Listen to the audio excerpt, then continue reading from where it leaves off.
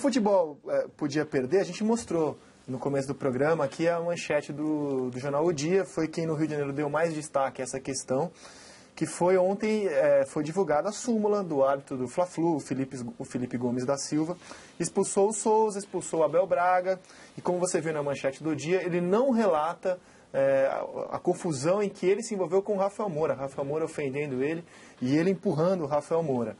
Então, ele pode ser agora denunciado por omissão, porque as imagens são claras, Rafael Moura deveria ter sido expulso. Só que o tribunal pode pegar a imagem do Rafael Moura cuspindo no Renato Abreu e denunciar o Rafael Moura. Isso pode fazer com que o Rafael Moura pegue até 12 jogos. A gente vai ver imagens da confusão. O Abel Braga, que se recusou a sair, ele foi denunciado. Se você quiser, você pode entrar no, no Globoesporte.com ou no site da CBF e ler a súmula na íntegra do árbitro. Ele relata ali todos os xingamentos do Abel. Esses xingamentos são impróprios para o horário, então eu não vou ler a súmula aqui do árbitro, mas ele relata ali minuciosamente todos os palavrões, os absurdos que o Abel disse ali para ele. A expulsão do Souza, que você vê, ele relata como que o Souza teria, é, agre não agredido, mas que com o antebraço praticado antijogo, por isso ele expulsou o Souza direto. Também não relata nada do Leandro Eusébio, que ó, também peita o árbitro de forma bem incisiva, ele não cita nada disso na súmula dele. Ele fica... não cita que empurra o Rafael nada Moura. Nada né? disso, nada. Isso pode levar o árbitro... Deveria. É, pode, né? Se, a, ser, a ser punido por omissão. E agora toda essa turma aí vai sentar-se no banco dos réus. Abel Braga lá, por causa da súmula só. e Rafael Moura por causa dessa e da imagem mais grave e nojenta, que é a cusparada no, no Renato Abreu. Essa imagem aí. E aí o árbitro não tem culpa de não ter visto, não, né? Aí, aí já é outra coisa. Ele estava olhando para o Abel. É.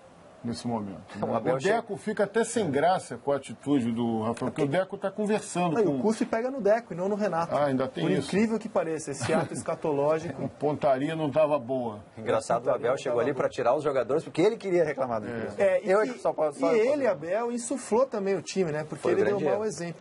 Esse assunto tá, é, é, eu já mostrei a coluna do, do Diogo Olivier, e esse assunto está na coluna do Paulo Júlio Clemã hoje, no Diário Marca. É muita falta de respeito. Paulo Júlio Clemã, com você. É, é, porque é o seguinte, eu acho que o, as cenas mostraram aí é, o árbitro sendo ofendido de uma forma muito violenta pelo Abel, né, e depois pelo Rafael Moura. É, o árbitro reagiu mal em relação ao Rafael Moura, porque ele deveria ter expulsado o Rafael Moura. Era simples assim, não empurrado o Rafael Moura. Quando o árbitro ele é omisso na parte disciplinar, ele, de uma certa forma, está legitimando esse tipo de ato. Né? Ele está sendo é, é, conivente com isso e errando gravemente, proporcionando outras cenas semelhantes a essa. Porque o jogador acredita que pode ficar impune. Né? Então, eu acho que a reação dele ao empurrar o Rafael Moura é gravíssima. É gravíssima. A arma que o árbitro tem é o cartão. Então, se o, se o jogador está ofendendo ele, estava, visivelmente estava ofendendo ele, estava ameaçando ele, é possível que estivesse. Não sei porque não, pega o cartão e dá, ó, meu amigo, o senhor vai embora. A gente pode discutir se o Souza tinha que ser expulso, a gente pode discutir se foi falta do Lanzini, eu sei que isso é uma outra coisa. É um critério técnico, cada um tem uma avaliação. Né? Mas na parte disciplinar, ele foi mal.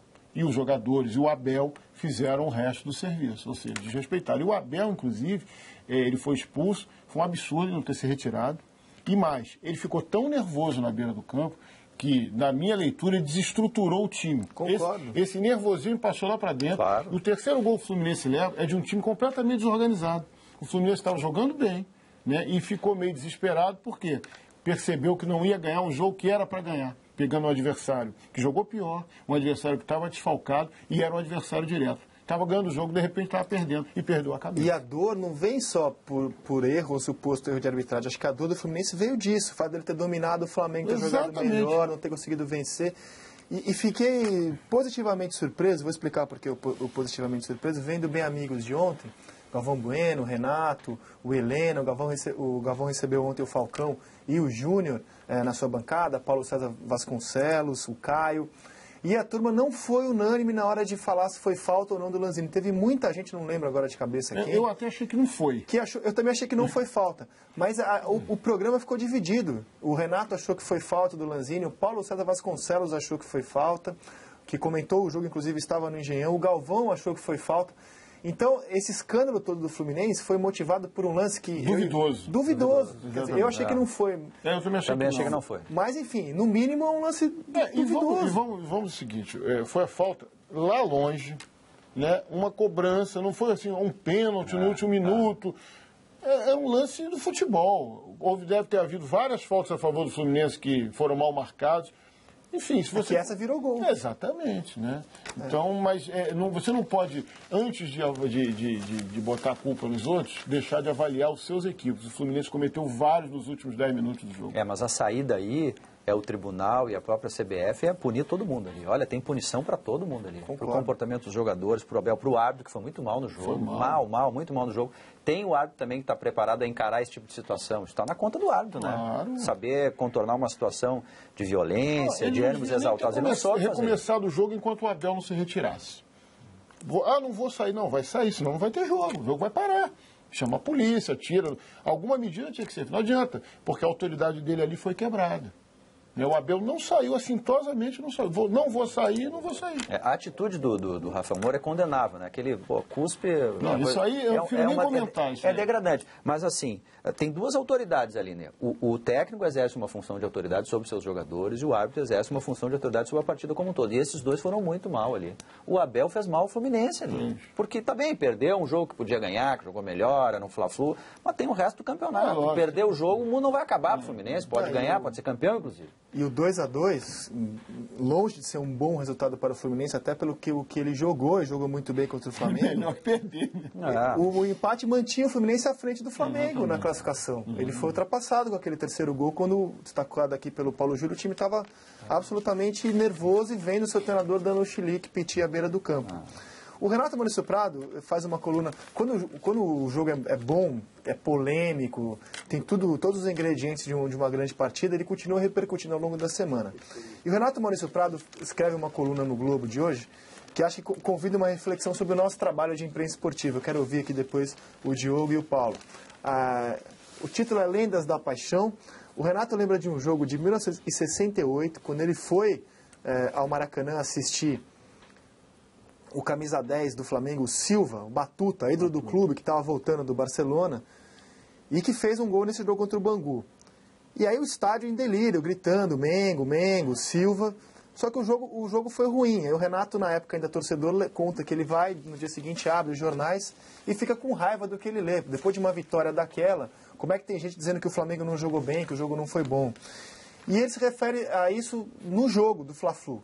Diz o Renato aqui no texto que, na opinião dele, o Fluminense foi melhor 85 minutos. O Flamengo teve 5 minutos ali eh, em que o Botinelli acertou dois golaços e virou o jogo. A gente vai rodar imagens da partida. E ele fala sobre esse desafio. Como é que você vai unir a realidade, que para ele não foi tão boa para o Flamengo, com o sonho, a ficção do torcedor, que obviamente saiu em êxtase do Engenhão depois de uma vitória histórica de um Fla-Flu. Então ele, ele fala sobre esse desafio que a imprensa esportiva tem. E eu tenho aqui duas pessoas que trabalham em jornais, né, que têm esse desafio eh, no dia a dia. Como é que vocês lidam no dia a dia com esse desafio, Diogo?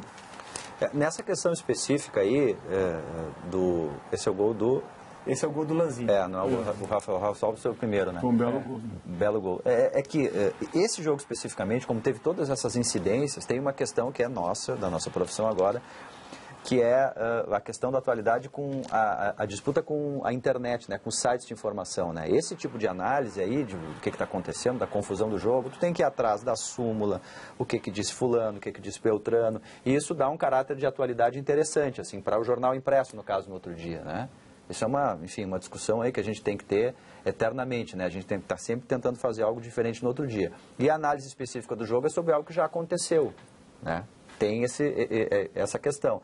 A melhor maneira é tentar contemplar as duas partes. Mas nesse caso especificamente, aí foi uma confusão tão grande, mas tão grande. Teve tudo, teve o, o piti do Abel, palavrão, cuspe, o árbitro empurrando o jogador, olha, fazia tempo que eu não vi. Vocês lembram do árbitro empurrando? Mas virou, olha, desculpa. pelada. É. É difícil de Duas ter vezes. pelada. É bom, é difícil ter árbitro em pelada, né? Mas quando tem, o cara não empurra. O... E teve, é difícil não tratar disso. Não, e ele escreve aqui o Renato. Apesar do apelo do Renato Maurício Prado. É, o texto é muito legal. Cabe à imprensa esportiva, então, a complicada tarefa de unir realidade e fantasia, sem distorcer o que de fato aconteceu, mas também sem privar o leitor, telespectador, ouvinte da emoção única de jogos e momentos mágicos, como o deste existe Fla-Flu. É que muitas vezes o amigo em casa não entende quando a gente fala Flamengo não jogou bem. Ele está extasiado, não entende esse comentário. É, tem uma. é, é, hoje em dia mudou muito é, é, a maneira de fazer. Eu me lembro quando eu era repórter do próprio Globo, fiz muitas crônicas de jogo, indo ao Maracanã, e, o- e o sujeito que está lá no estádio, ele, ele, ele sente tudo isso. Ele vê aquilo lá, o Flamengo jogou melhor, o Flamengo não sei o quê,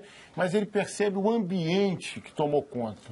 E, e tinha um jornalista veterano, já até falecido, Fernando Horácio da Mata, me ensinou uma coisa. Quando você sair do Maracanã, num jogo como esse, que foi sensacional domingo, você vai para o jornal e não fala com ninguém. Chega lá, senta e escreve aquilo que você está pensando na hora. Quando você começa a falar muito, um pouco extasiado, quantas vezes você chegou do estádio extasiado na redação, puxa aquele grenal e não sei o quê, É. você vai gastando aquela energia da emoção que você trouxe do estádio. E na hora que você vai bater no- na, tela lá, você já eh, desperdiçou muito daquele sentimento que você está trazendo do estádio. E eu passei a aplicar isso para escrever e acho até que consegui mostrar um pouquinho da emoção que estava no estádio. né? Então acho que essa é uma forma, sem desprezar a parte técnica, quem jogou melhor, quem jogou pior, mas você traz. Não, não conversa. Não, não. Como é que foi o jogo? Eu vou escrever. Você faz aquele lead assim bacana, depois você vai ajeitando, evidentemente, né? Você escreve e depois você ajusta. Mas passa primeiro para o computador, né, no caso, a sua emoção que você percebeu lá. E hoje está todo mundo fazendo o jogo da redação do jornal olhando a televisão, perde esse ambiente, porque a festa do Flamengo, imagino eu, deve ter sido sensacional pela, pela característica do jogo. Né? É, essa questão assim da é, de tu ter que retratar o sentimento e a emoção em contraposição com a objetividade, com a informação precisa ali, que é uma, uma discussão. É, agora, se tu retirar do futebol esse elemento, não está sendo objetivo. Porque o futebol é muito emoção, Claro. o ambiente. Então, se tu não conseguir captar isso, tu não está sendo objetivo. Aí, só a razão Tu não, não é tá- capaz não de explicar fala- os dois gols do Botinelli e a Evidentemente, virada é. épica do Flamengo. Evidentemente que não. A- a Se fosse a uma coisa técnica- cartesiana, o É. Fluminense teria ganhado o jogo, porque ele Exatamente. dominou mais, teve mais a bola, chutou mais a gol. Ah, então o Fluminense Ah, deve ter tido mais posse de bola. É, Agora- é, agora- agora é a moda do É a futebol. posse de bola. Tá com posse de bola. Pois é, e aí? Então, Tudo pro lado, mas posse de bola. Bom, o Paulo Júlio deu essa dica de você não conversar com ninguém, de não pensar com ninguém antes de escrever. Faça isso também para vir twittar aqui com a gente, mandar o seu comentário. não, certas coisas é melhor pensar É, é, antes. mas aí eu penso Você imaginou, eu fico o Cleimão, o Cleimão chegando na redação, todo mundo querendo falar do jogo, um jogo sensacional, e ele falar. chega, não quero falar com ninguém, chato, só quer escrever ali.